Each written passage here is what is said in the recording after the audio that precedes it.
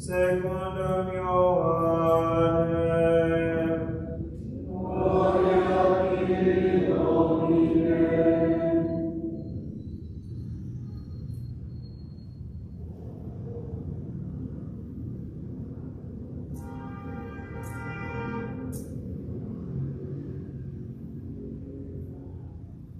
Venino tempore, dixit Iesus turbis Iudeo,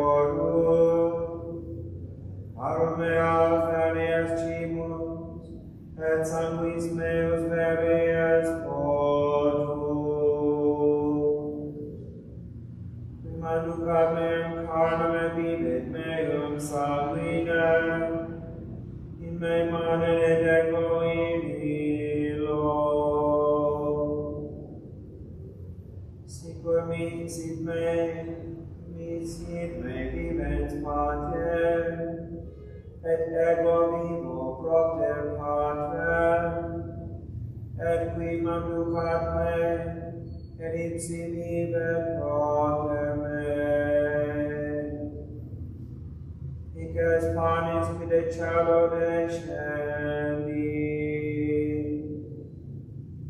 non sicum manca vero patris vestri mane et mortuis sum, qui manducat nun panem,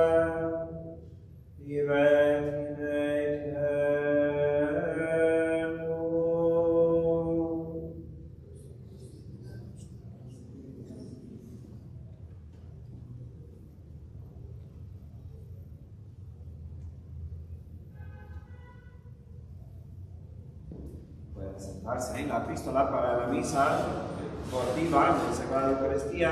Está tomado de la primera carta de San Pablo a los Corintios. Hermanos, yo aprendí del Señor lo que también os tengo ya enseñado, y es que el Señor Jesús, la noche misma en que había de ser traicionado, tomó el pan y dando gracias lo partió y dijo, tomad y comed, este es mi cuerpo, que por vosotros será entregado.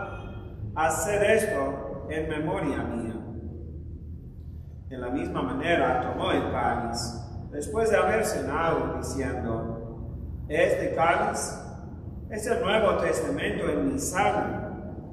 Haced esto siempre que lo bebáis en memoria mía.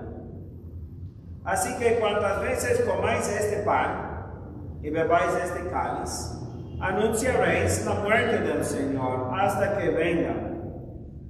Por tanto, cualquiera que coma este pan o beba el cáliz del Señor indignamente, será reo del cuerpo y sangre del Señor. Examínase pues a sí mismo cada cual, y así coma de aquel pan y beba aquel cáliz. Porque, porque quien lo come o- y bebe indignamente, se come y bebe su propia condenación, no haciendo del, del debido discernimiento del cuerpo del Señor. Ahora se ponen de pie para el Santo Evangelio, está tomado el Evangelio de San Juan. En aquel tiempo dijo Jesús a las turbas de los judíos, mi carne verdaderamente es comida y mi sangre es verdaderamente bebida. Quien come mi carne y bebe mi sangre, en mí mora y yo en él. Así como el Padre que me envió vive, y yo vivo por el Padre, así el que me come también vivirá por mí. Este es el pan que bajó del cielo.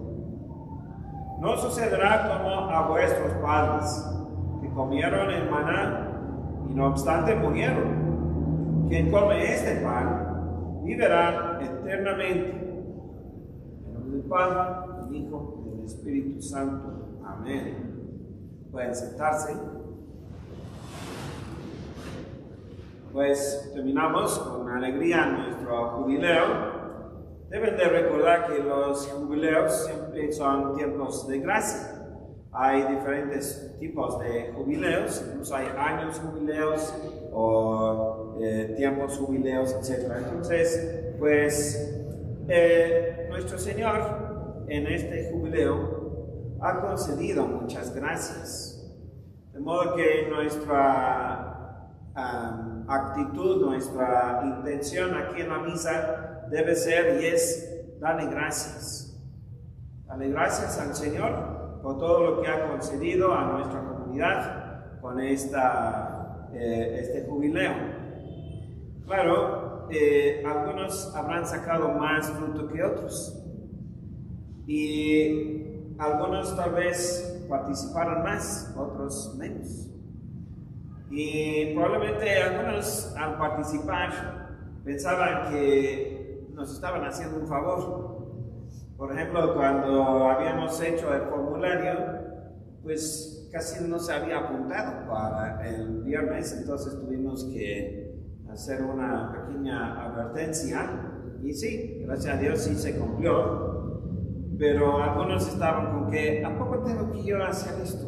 O sea, como que cuando en realidad el formulario solamente era para asegurar que hubiera gente, claro, siempre por lo regular sí va, va a haber. Pero hubiera pensado que estuvieran ansiosos de poder apuntarse, de tener el privilegio de estar con el Señor y no de que tuviera que, ay, ¿acaso tengo que yo ir o yo estar ahí?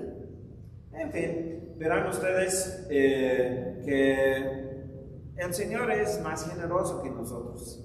Y Él dio más en estas horas de lo que nosotros le hemos dado. Nosotros medios dormidos, medios eh, cansados, medios aburridos, no hemos dado nada al Señor. Pero Él es el que nos ha dado su gracia, nos ha incluso invitado a estar con Él en esos pocos momentos.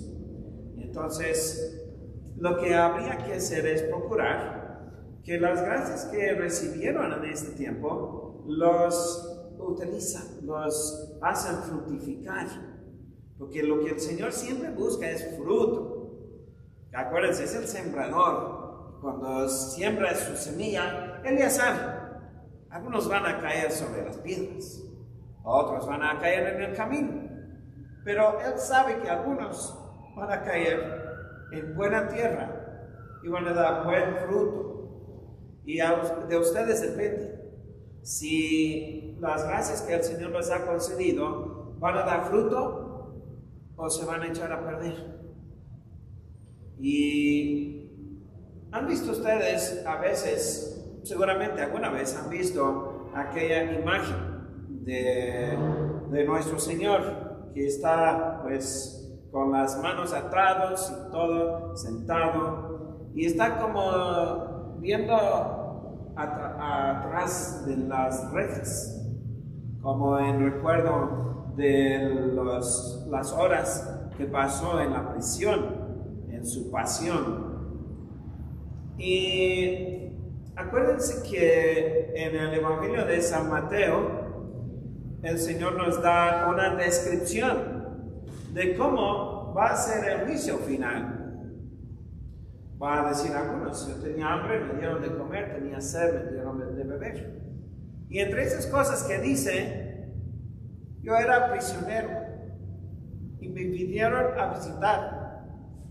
O a nosotros nos va a decir, yo estaba en la prisión y no me venisteis a visitar.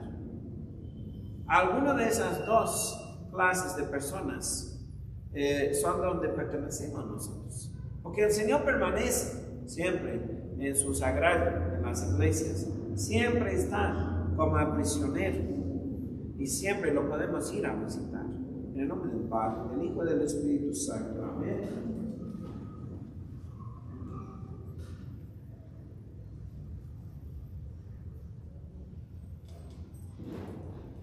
Dominus